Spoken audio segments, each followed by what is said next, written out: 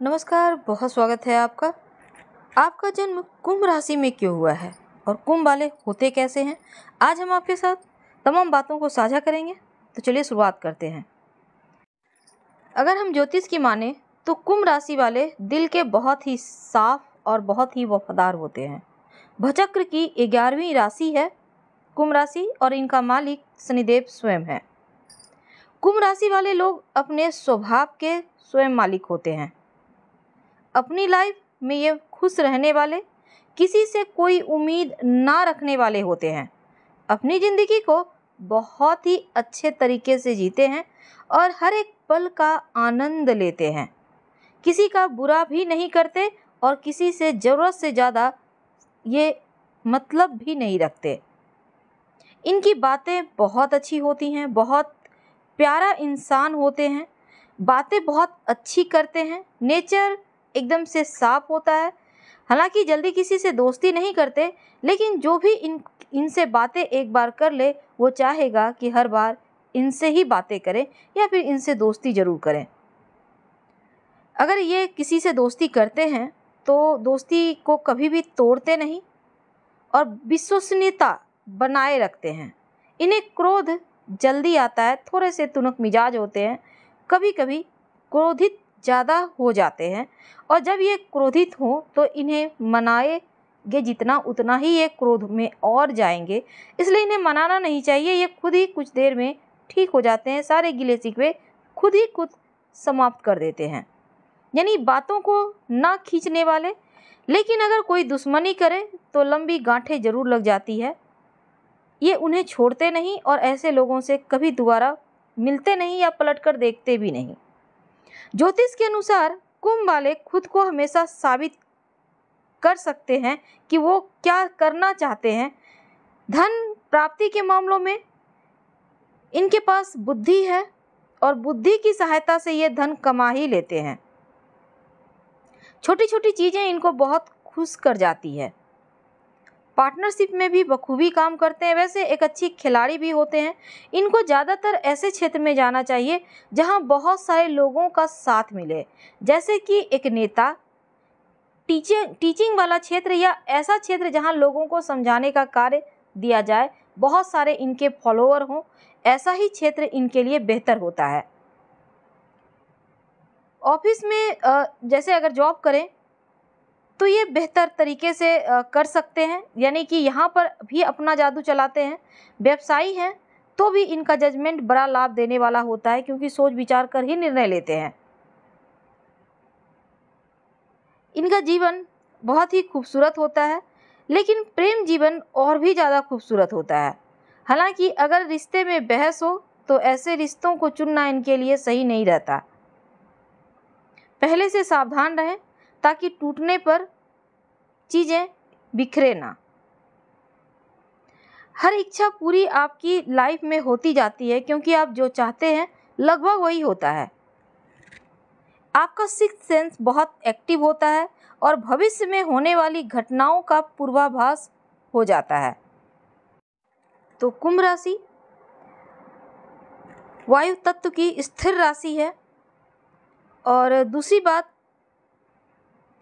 ये थोड़े शर्मीले और शांत भी होते हैं, लेकिन सनकी होते हैं तो ऊर्जावान भी होते हैं। बुद्धिमान होते हैं, सबकी मदद करना या दो पक्षों के बीच हुए झगड़े का निपटारा करना इन्हें आता है। हमेशा एक्साइटेड रहते हैं। मानसिक उत्तेजना अगर ना हो तो उब जाते हैं। इनको बोरिंग सी लाइफ पसंद नहीं आती। अच्छे विचारक, प्रगतिशील और मानवतावादी होते हैं। हमेशा लोगों से घिरे रहना इन्हें अच्छा लगता है और अपनी भावनाओं को ये खुलकर सबके सामने ज़ाहिर नहीं कर पाते। लेकिन अपनों से प्रेम करने वाले होते हैं। पहले इनका परिवार होता है, फिर दुनियादारी। मिलनसार होते हैं, बहुत सेंसिटिव होते हैं, मज़बूत विचारों वाले होते हैं और जिनसे प्रेम करें उनके लिए जान तक देने को तैयार होते हैं।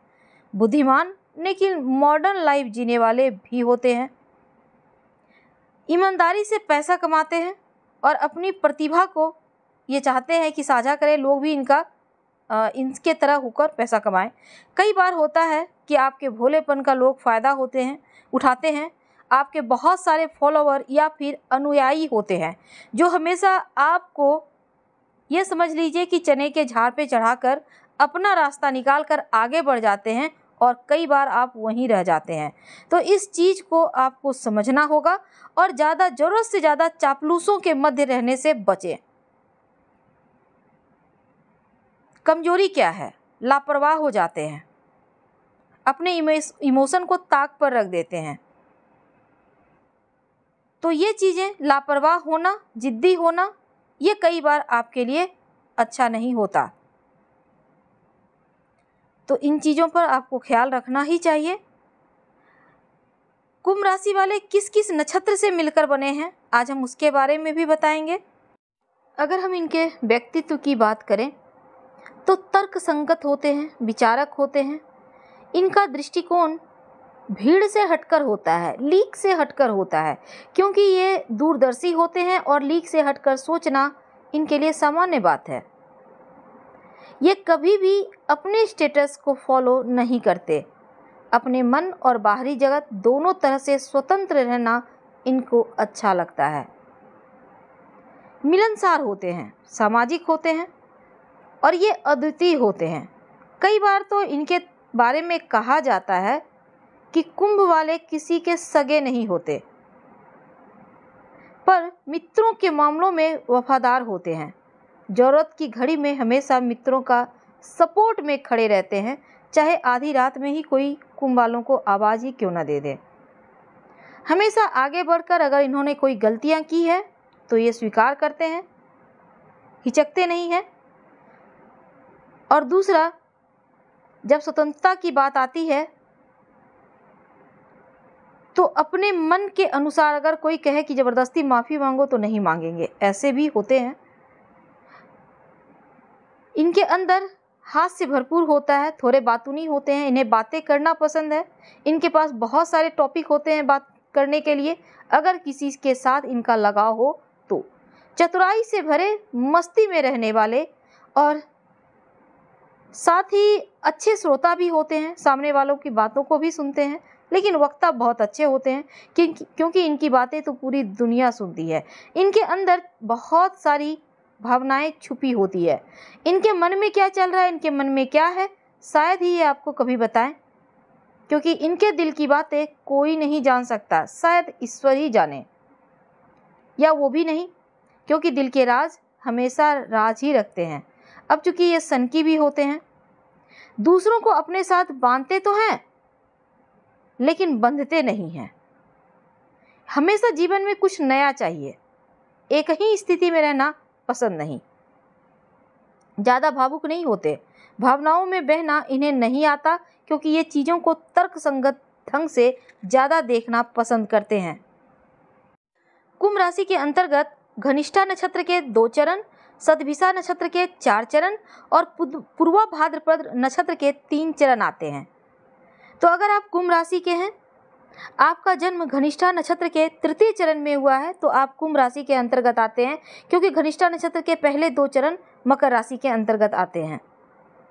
तो घनिष्ठा नक्षत्र के तृतीय चरण में आपका जन्म हुआ है तो समाज के हित में सोचने वाले, वैवाहिक जीवन का सुख अनुभव करने वाले होते हैं। घनिष्ठा नक्षत्र के चतुर्थ चरण में आपका जन्म हुआ है तो आप अच्छे अच्छे लक्षणों से युक्त और जीवन में बेहतर करने का प्रयास करने वाले होते हैं।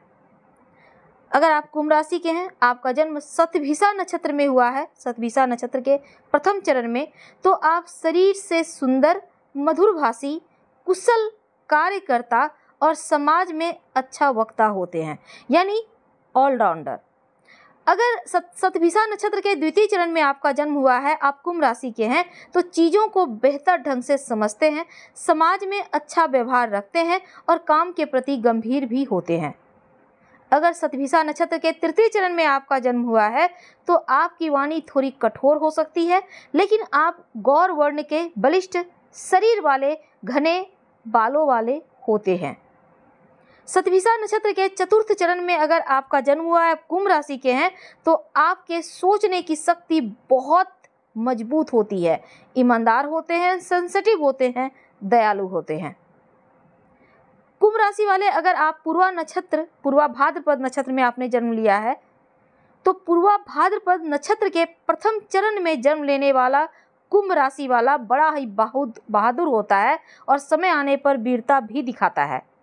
अगर आपका जन्म पूर्वा भाद्रपद नक्षत्र के द्वितीय चरण में हुआ है तो आप ज्ञानी होते हैं और अपने ज्ञान से समाज को रोशनी देते हैं। पूर्वा भाद्रपद नक्षत्र के तृतीय चरण में जन्म लेने वाला कुंभ राशि का व्यक्ति हमेशा तरक्की करने वाला, सिर्फ़ अपना ही नहीं, अपने साथ साथ अपने मोहल्ले का, अपने शहर का, अपने गाँव का विकास करने वाला होता है।